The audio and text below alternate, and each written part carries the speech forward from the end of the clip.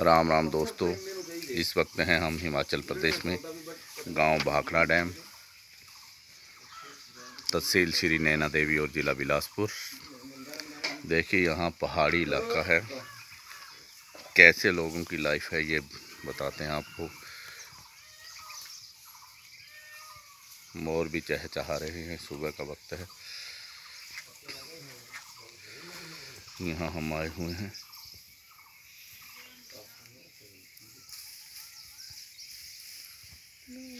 फ़सल भी इस वक्त है, ये पगडंडियों पर फ़सल बोई जाती है।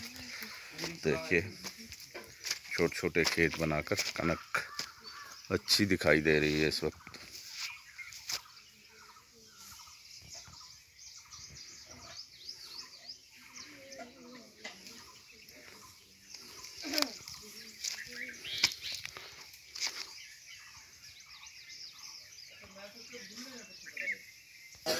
ये देखिए एक बकरा है बहुत ही अच्छा।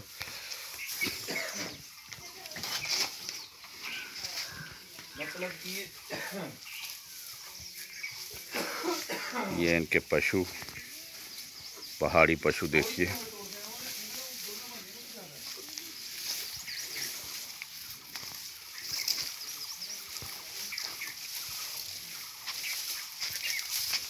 ये भैंस इनको घास डाला गया सुबह सुबह सुबह का वक्त है। बाँस का घास खा रहे हैं ये पशु। छोटे छोटे पशु होते हैं, यहाँ भैंसें भी छोटी छोटी होती हैं। ये एक देसी गाय भी है।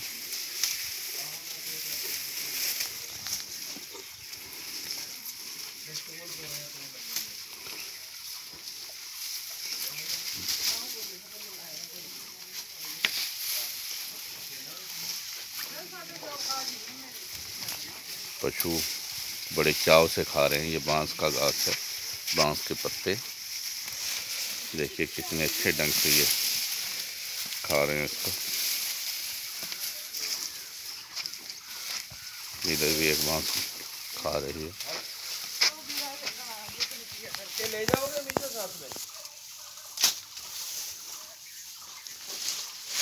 बकरी का बच्चा है। लगी है कुछ कुछ? राम राम भाई जी। राम राम जी। ये कौन सा गाँव है जी? ये पखड़ा गाँव है भाई। तहसील? तहसील श्री नैना देवी जी। जिला? जिला बिलासपुर जी हिमाचल प्रदेश। अच्छा जी। हाँ यहाँ पे क्या क्या खेती होती है जी? खेती यहाँ पे भाजी सारियाँ होंगे यानी कि पानी की कमी है यानी सिंचाई का पानी है नहीं साधन। अच्छा जी। बारिश पर ही डिपेंड है सारी खेती। अच्छा इस बार तो अच्छी हुई बारिश। इस बार बारिश अच्छी है जी फ़सल भी अच्छी है थोड़ी। ये आपके बगीचे में क्या क्या फल लगते हैं? बगीचे में पौधे हमारे में भाजी आम है। हाँ जी। नाशपाती बब्बू गोशा संतरा किन्नू गलगल। अच्छा। ऐसे पाँच छह प्रकार के है। अभी सेब के पेड़ भी लगाए हमने दस। अच्छा। चीकू के पेड़ भी लगाए हुए हैं दस जी। आंवला है। आंवला भी है जी बड़े वाला। ठीक। मरब्बे वाला आंवला। तो दिखाइए अपना। हिमाचल का इलाका देखिए। करने के लिए हाँ। ये। इधर प्याज प्याज लगे हैं सिंगरा है पुदीना। ये किस चीज़ का पेड़ है जी? एक केम्ब है जी केम्ब। केम्ब। कहते हैं इसको वैसे। अच्छा जी। ठीक लग रहा है। बरसातों में इसका फल खाते हैं काट के। ये हमारी कणक है भाई इस इस बार। कनक अच्छी है। हाँ ये चने भी लगा रखे हैं। चने। देखिए चने बच्चों अच्छा। अच्छा ये आम पे भी बूर बहुत आ रहा है। और ये क्या चीज़ है भाई साहब इसके बारे में बताइए। इसको क्या कहते हैं? ये तान है सर जानवरों से ना तान। बचाने के लिए। तान अच्छा। हाँ जी। इसमें- घारी बनाना पड़ता है यानी कि खेत किस्म का। अच्छा अच्छा जी। अब इस- यहाँ पे मंजा नहीं लगाना हमने सिर्फ़ बिस्तरा डाला और पड़ गए। रात को राखी करते हो फिर। राखी करने के लिए हाँ जी फ़सल की राखी करने के लिए। जानवर आते हैं। घारी बनाना पड़ता है जी। अच्छा जी। हाँ जी। ये लीची का पेड़ है सर जी। लीची। लीची का पेड़ देखिए। लगी तो फल आया हुआ है जी ये बूर लग रहा है इस पे। है, हाँ। ठीक है जी। ये संतरे के पेड़ हैं जी। आम का पेड़। ये पगडंडियाँ बना रखी है ना। जुताई किससे करते हो? बैलों से? जुताई बैलों से जी। बैलों से हाँ। हाँ जी। यहाँ ट्रैक्टर तो चढ़ेगा नहीं जी पहाड़ में। हाँ जी हाँ जी। देखिए कितना अच्छा वातावरण है। सामने पहाड़ी है। और ये तन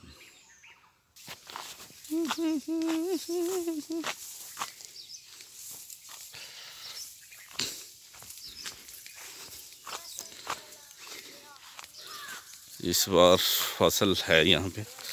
बारिश अच्छी हुई है, कनक की फ़सल भी है। ऊपर नीचे ऐसी बोई जाती है, देखो पहाड़ी पर कैसी फ़सल बोई जा रही है। अबू नहीं, इधर तोड़ना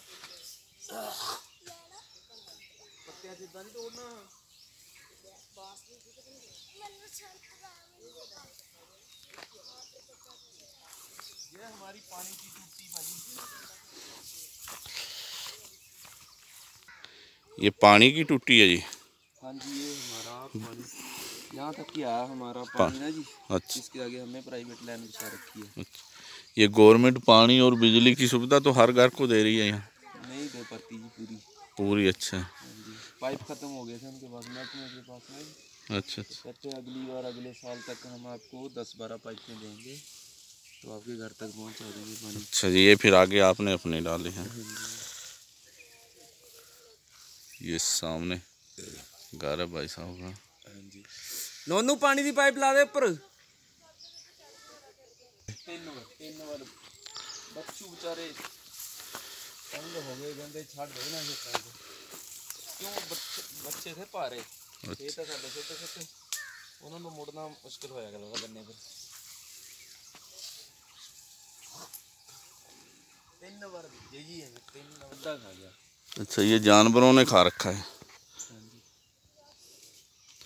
कौन सा जानवर आ जाता है यहाँ पे? बारह सिंगा जी नील नील गाय जिसको कहते हैं। अच्छा अच्छा जी।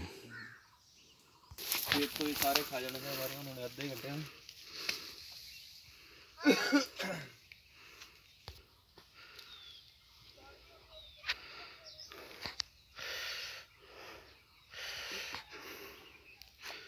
ये खैर का पेड़ है जी खैर।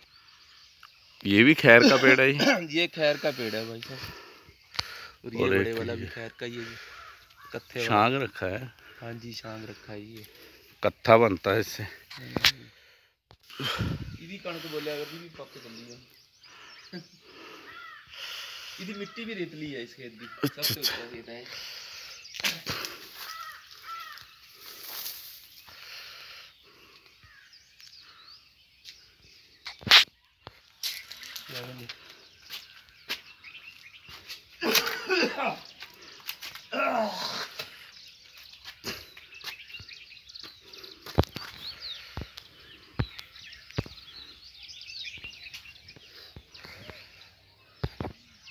ये लसूड़े का पेड़ है भाई लसूड़ा ये लसूड़ा अच्छा जी। आगे वो है जी लसूड़ा अच्छा अच्छा वो सामने। ये लसूड़े का पेड़ है तो सभी साथियों का बहुत बहुत धन्यवाद। जो हमारे साथ नए जुड़े हैं, वो हमारे चैनल को सब्सक्राइब करें और हमारे वीडियो को लाइक करें। धन्यवाद।